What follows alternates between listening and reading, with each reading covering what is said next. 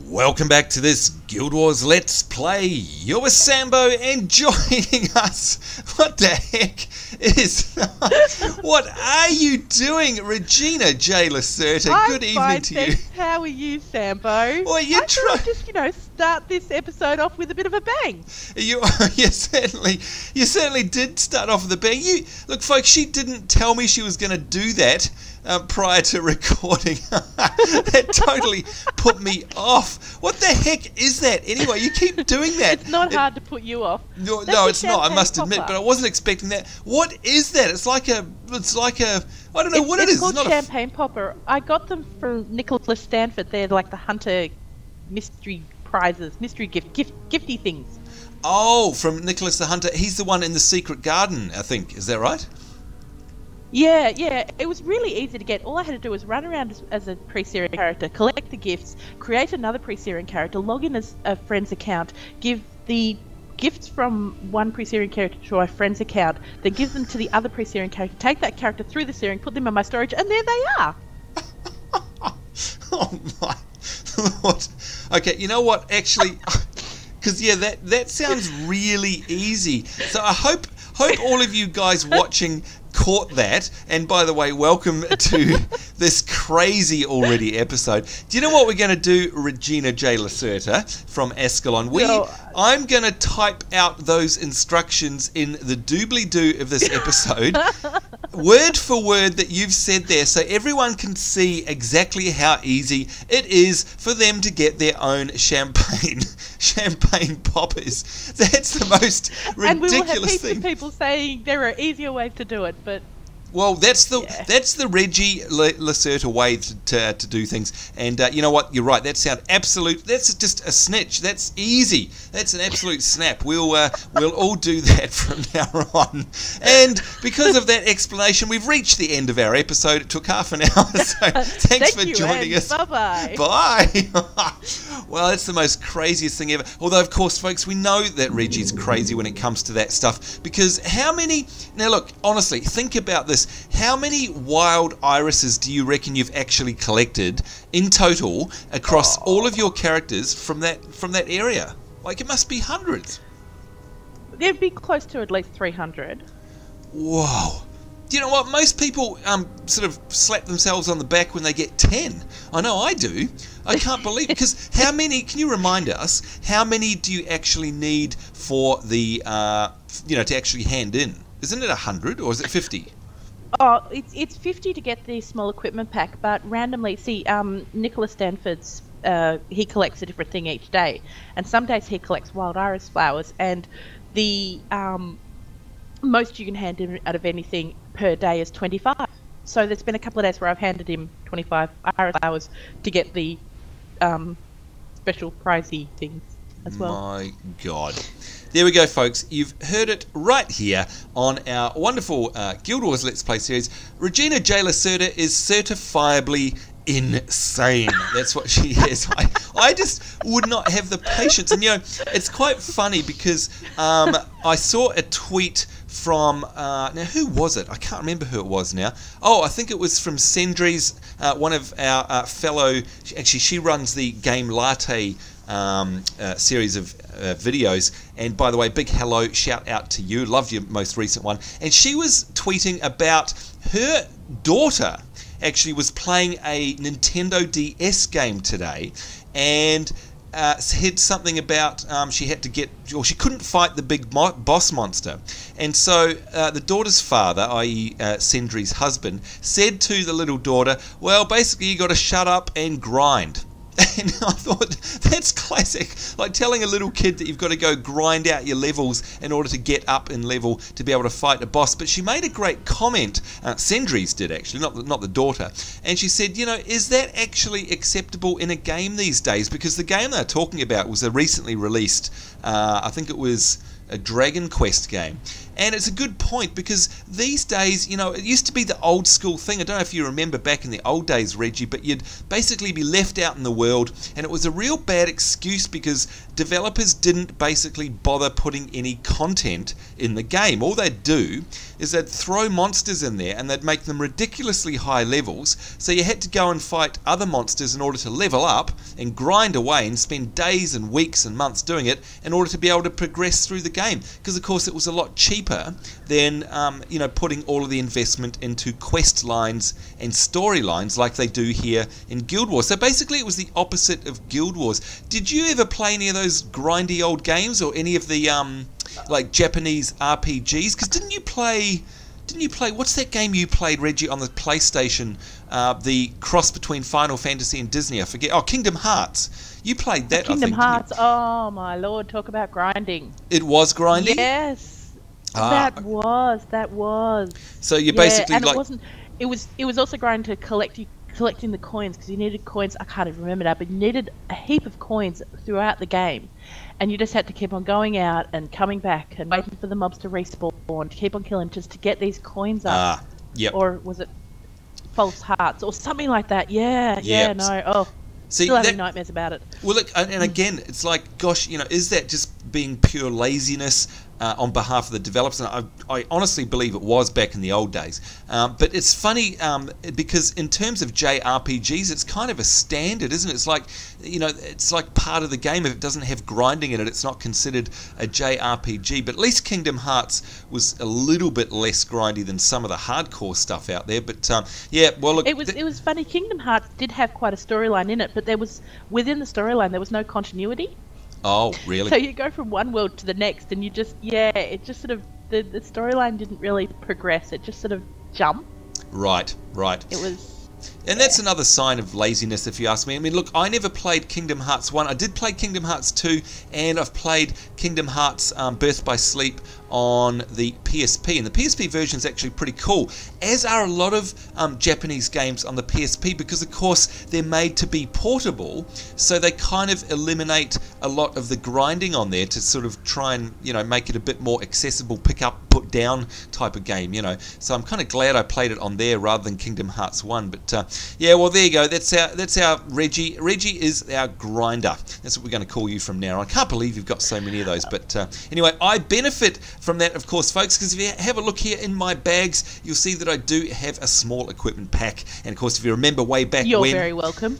Yes, exactly. We have Reggie to thank for that. So all of her grinding actually got us that small equipment pack, which of course is five much needed slots because I'm such a hoarder. Although Reggie, if you could see my bags right now, you'd be very proud of me because four of them are completely empty. I've done really well. I've gone against my hoarding ways and I've actually cleaned out my bags. Now, the fact that my backpack is chock full has nothing to do with it. Um, the rest of them are empty though, so I'm very proud of myself. So, and I think you will be too once you see the video. Anyway, speaking of me, I think um, we were talking before the episode, Reggie, and we've reached an interesting point here in the game because. You want a popper? Um, oh, what's I'll this? give you a popper. Oh, look, she's trading with me. What? Oh, God, her and her bloody poppers. I mean, oh, thank you very much for your your gift. What the heck? Okay, now let's go. All right, okay, here we go. Pop, pop, wee! All right. it looks on my screen. It looks like we're we're vomiting orange pieces of paper from out the side of our neck. That's what it looks like. Oh, you me. just you've just lost the fun tonight, Ambo. Come No, on, bring it back. Come around. It just looks ridiculous. Oh, it's so funny. Well, thank you for the champagne popper. But on to more important, well, sorry, slightly different things, not more important than champagne poppers. Um, we've uh, gone through our quest log, and yeah, Reggie. Oh, oh my God! What did you? Just every. She's got to be doing something, hasn't she? She's like, no, I can't just stand here. I've got to crack open a firework. I've got to get drunk. I've got to take off a popper. Oh, now she's sitting down. Well, Oh, you said like- I can't just stand here. Oh, oh, do you know what it's like, folks? It's like babysitting. That's what it's like on this show. It's like, oh, Seraphis, I want to do something. Eh. Anyway, we are going to do something, but you were looking through your quest log, Reggie, and you're saying that you've only got one quest in there, and I think it's uh, Althea's Ashes. Is that right? You've literally just got the one left. Not even any, not not even any class quests. Nope. Okay, so that's an interesting Yeah, I've been point. vigilant and actually, you know, thought there's no point me doing class quests in the um, recording because no one can see well, that's my a good point. perspective. No, that's very true. That's nice. So you've gone and done all yours, and that's good. I've still got about four uh, to do, and I think, like we agreed earlier, let's go do them now so they're out of my log. But once they're done, um, you, oh, I can see it, she's yawning now. What? There's just no pleasing this woman, seriously. But the thing is, once I've done all of these uh, class quests, we're basically left with Althea's ashes and nothing else. Now, of course, if you folks at home have been watching our last episode, you'll know we failed miserably. Um, at what do we have about six or seven Again. attempts at that uh, at that quest? no, no, it was shocking, wasn't it? Well, So- at least, at Yeah. least if you do your um, class quests, you may actually level up to a point where you're useful. I'll take that as no. How can I take that as a compliment? That's not a compliment at all. Anyway, yes, we're blaming my non-usefulness on the fact that I haven't done enough quests. Yes, that sounds good actually. That that's what we'll blame that on. Um, but the point is, is that once I've done these, we've both only got the one quest. Now that I, I Well, just doesn't got seem right. mission. There is a mission as well. Oh, yeah, good point. There is a do. mission. But even so, out of the entire Guild Wars, is that all we've got? I mean, I guess after Althea's Ashes, we'll get a, a, a follow on quest from that, sending us somewhere else, I suppose. But what what's the idea in the game these days? I mean, are we just supposed to actually adventure? I mean, if we look at our map, you can see obviously we're clearly meant to be heading north uh, or over yeah, to the west. we've west only done a tiny, tiny wee part of the map at We the have. moment. Look at that. so zoom out. Yeah. But are we just supposed to basically, um, you know, use our own initiative and run north ourselves, or are they meant to be quests that are actually pulling us through all the time? Because it seems we're we're Um, kind of the- running I, I find I tend to find that the missions are what pulls you through the storyline and through the map more than the quests themselves. The quests sort of Oh. tend to be focused around an area, but the missions will sort of bring you to a new outpost and pull you that little bit further along. Ah, okay. There's the answer we were looking for. All right. so we definitely need. To, here. Yeah, no, no, that's good. We need to do the missions then. But look, you're dead right. Let's um uh, do my class quests first. So I've got one here called Mesmerizing the Enemy, and basically we have to go south of the sanitarium, which is where we are now, south of here, through the ruins of Ashford. And Reggie, you were saying before that Ashford, of course, is where Devona used to be. That's the old little township there. Um, we have to Yeah, go south now yeah, Grim it's all now ruins. ruins, isn't it? So south through there, and we have to find a foul gargoyle named Ignis Fanaura that has uh, pretending to be a mesmer. Oh, there we go. Reggie's getting our henchies. Of course, we forgot those. Um, and I have to destroy him. So that's the first one of our quests. So let's do that. If you're able to, uh, let me make sure I've got that selected, of course, in my log, folks. So do, you, do you like my the showing up. I've chosen?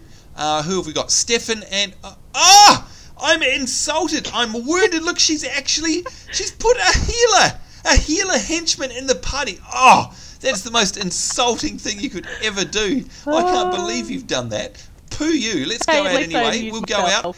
And you'll see that I will out heal her. I, this is good because you'll see how valuable I am because I'm a much better healer. Oh, look, she changed it at the last minute. Yep, fine, whatever. Talk about an insult. you All right, now we have to go. don't have your your pip. No, so we have to go round here, I think, and round to the south. I'm going to draw on the map. There we go. You can see a bunch of mobs over there. I think that's where we have to go. I really don't know because I've never done this one before. Well, I can't remember doing it. But, ah! There we go. We're already already attacking.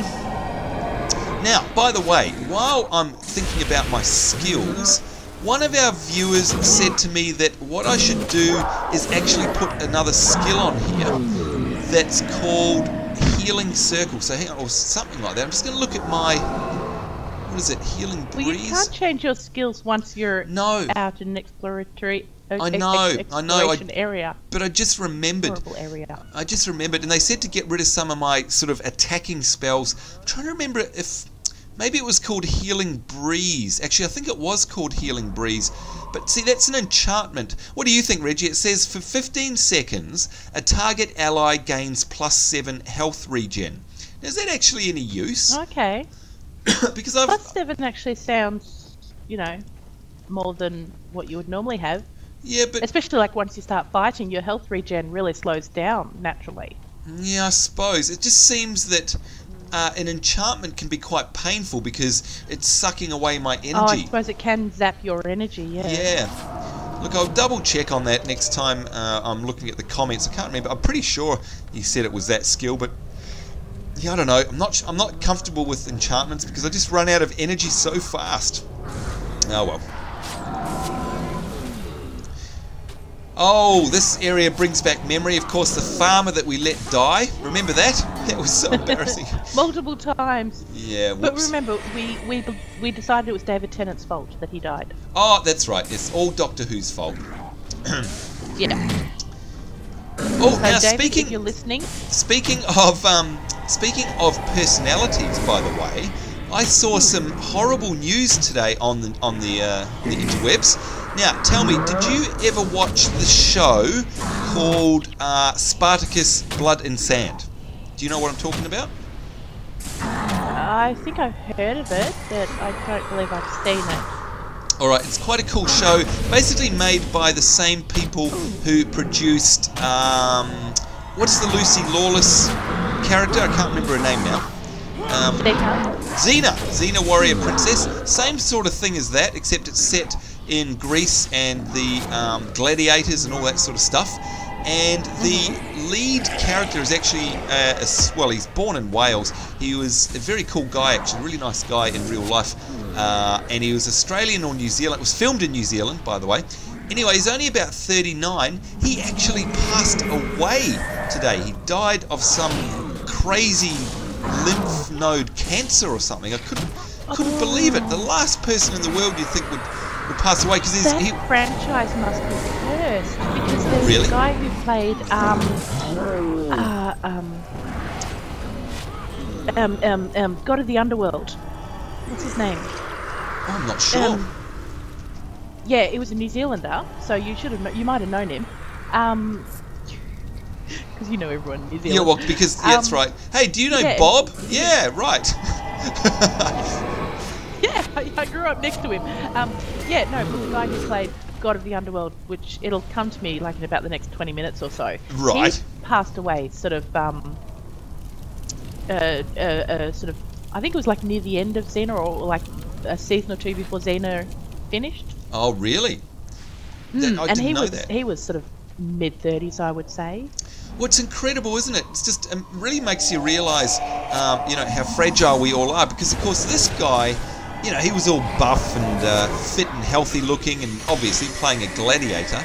Uh, and he'd be the absolute last person you'd think would uh, just drop dead, effectively, with all due respect, by the way. Um, it's just so amazing. And of course, the other thing that's going on at the moment, and uh, a big uh, hello to everyone from the United States, of course, who is watching this video. As of this filming, uh, we're what what date are we filming this, Reggie? We're actually sort of on time for once. I think it's what is The- it, the twelfth of the 12th? September? Is it? Yep. So I think Yeah. right now in the US, of course, it's uh, the anniversary of that most horrific event 10 years ago today that we all know of, and of course that being 9/11. Uh, so obviously our uh, hearts go out to everybody affected by that absolute tragedy, and uh, just I, I can't believe Reggie that it's been 10 years already since that's gone by, and I'm going to ask you the inevitable question, of course, which is, do you remember what you were doing uh, when you discovered uh, about the tragedy? Do you actually remember where you were and what Um, you were doing? Yes, I do. I was actually. I'd been watching a documentary on the Japanese invasion on Pearl Harbor, Oh, and I fell asleep on the couch, and then woke up to the images of um, just after the first plane had hit the tower, wow. and it was sort of all. That's I kind found of it sort of all really weird, sort of watching a documentary on invasion on um, uh, American soil. yeah. And then it basically then wake up to see it. Ye- Yeah, Re- But it was, it's funny because I was actually at the time I was actually working in a women's clothing store, Right. And I went into work the next day, and um, I can't remember what day of the week it was, but whatever the day of the week was, it doesn't didn't tend to be a sort of a busy day of the week, but we actually made more sales on that. I think it was like a Tuesday or Wednesday or something like that. We actually more more sales on that day than on a Saturday, like you know, uh, one of the busiest days of the week, just because people just kept on coming in wanting to talk. Wow, is that right? Yeah, and yeah, and because yeah, I was sort of working in the shop on my own that day, and yeah, it was just I remember it just being a very amazing, draining day because people just kept on coming in all day and wanting to talk, and of course because they were talking, they were buying, and it was Wow. just yeah, very bizarre. Again, again, it's just hard to believe, isn't it, that that's actually 10 whole years that has gone by. I mean, it just seems like it was yesterday, of course, um, scarring us all forever. Of course, it's going to feel that way. Um, but look, I mean, we, we don't want to harp on about it, obviously, um, about the tragedy itself, but, um, you know, it's something that, just in case you're wondering if you're in the US and you're thinking to yourself, oh, probably no one else cares or whatever, it uh, greatly affected all of us. I'll, I'll give you that. I was actually in New Zealand at the time, and um, you know I don't think it matters whereabouts in the world you are. Something like that just ripples right through your entire life, and uh, uh, obviously extremely tragic. So anyway, um, all of our uh, best wishes to any of you that were affected by that uh, in a more direct way. Of course, we hope everything. Uh, is better now 10 years on, that's for sure. Anyway, let's get off that nasty subject and uh, go back to my quest here, of course. Which, good old Vessar. Here we go. Ignis was a foul creature. You've done all of Ascalon a great service. There you go. He's talking to me, you see, Reggie, saying, I did Ascalon a great service this day. I must say, you show. uh, what? Wait a minute. He's saying I show some potential. I don't have potential. I'm. well, look at it. Yeah, whatever says Reggie. Anyway, get myself some. Uh, I think I get myself a whole bunch of skills here. Oh, I do. I'm going to equip these later because these are all obviously mesmer skills. So there we go. All right, so that's one down, Reggie. I've got another one here. Uh, what do we got? We've got about seven or eight minutes left in this episode. I've got something called. What's this one? Let me see, Regent Valley, no. Unnatural creatures, no. Oh, here we go. A cure for Relina. And this is now that we have the primary ingredient for Relina's cure. You know what? It's been so long I can't even remember who Relina is. Anyway, I need someone to take it to Master Ranger Nente. He can often be found wandering near what used to be called Green Hills County. Will you help me one last time? Now, Green Hill County, where's that, Reggie? Name rings a bell. Um, that's the entrance of that was where the big flaming statue was. Oh, oh, oh, okay. So it's up near the breach, up the top there, sort of to the northwest. All right, okay, cool. Let's go. Let's do it. And this is going to be good. We're going to knock at least two of my class quests out of my log. I'm going to be really happy about that. Now, are you sure you don't want a healer in the party, Reggie? You know, I- mean, am I doing okay so far? that Oh, was so well, mean. I've actually got a, I've actually got a heal skill on my bar at the moment, so That's even worse. That's saying I don't trust Sambo enough with my life that I need to have a healing skill just in case. That's what that's saying. Shocker. uh, your words, not mine. Oh, yeah, whatever. We we all know that's what she she just has no faith in me. I I have faith in me, you know. that's saying something. You have faith in you. Well, I do. on you. I bet your mummy tells you you're a special boy. something, something like that. Gosh, he's being awfully. No- I looked. Uh, I seem to have run away from them as well. What are they doing over here? Attacking all these beasties. Yeah, of course. Now I've, I've uh, it's it's come back to my memory the name of that uh, actor that I was Oh! to look up from Xena. Here we go. Yeah, Who was it? Yep, I've just remembered it. Um, he played the god Ares. Ares. His Okay. name was Kevin. Yeah, his name was Kevin Smith, but not the Kevin Smith from Jay and Silent Bob fame. No, no, no. Wait, wait. Kevin Smith. Hang on. I know exactly who you're talking about. Um. Oh, he was you're born kidding? in, in Auckland. Yeah. Is he not? Yeah. Did he die? Um, he died in I think it was uh, 2000 and, 2002. He was 38 years of age, and he actually died in China. I hang on a sec. I'm just gonna have to um, pause our video here because Vista's having I've a just jogged fit. my memory on all this. You see. It's amazing. Hang on, we'll be right back, folks. One moment. All right, and we're back, folks. Good old Vista up to its usual tricks again. And yes, I know, Reggie, I've got to get Windows 7. I, I'm just seriously, I don't You know. had to do a backup. she's so horrible to me. Unfortunately, she's right though, um, because it, look, well, it is horrible to do a backup. There's so Mean, much. but correct. It's so it would be such a big task, but I have to do it, don't I? It's just honestly, out of the blue, you wouldn't believe it. I mean, this time before filming, I actually went through the task manager and killed a whole bunch of everything. Like, there's barely anything running here. Um, I've got. And you were running late on, on me by yeah, doing so. That's right. I was. I was late late for our recording.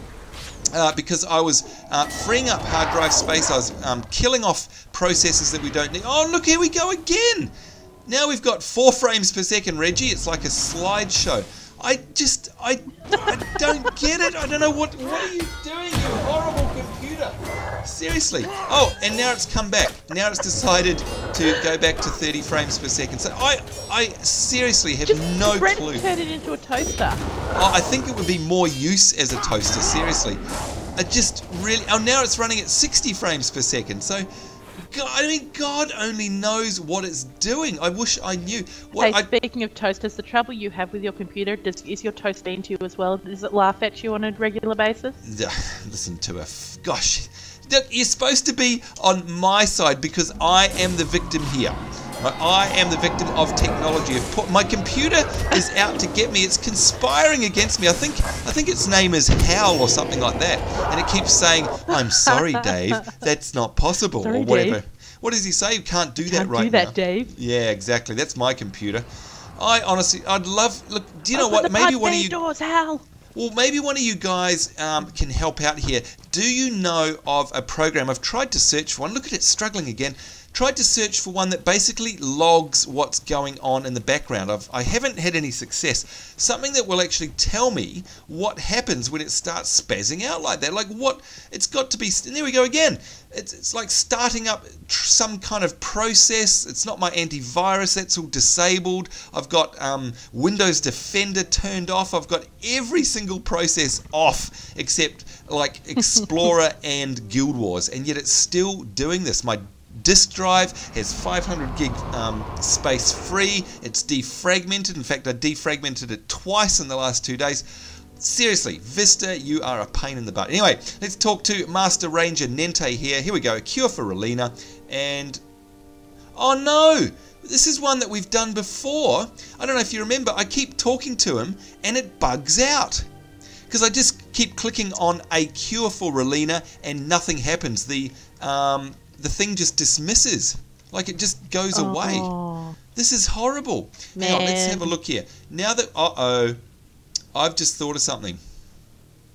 What? I'm reading the quest here and it says now that we have the primary ingredient for Relina's cure, I need someone to take it to Master Ranger Nente.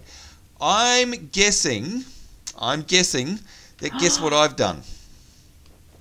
You've gotten rid of whatever the prime ingredient was. I reckon I probably oh have. God.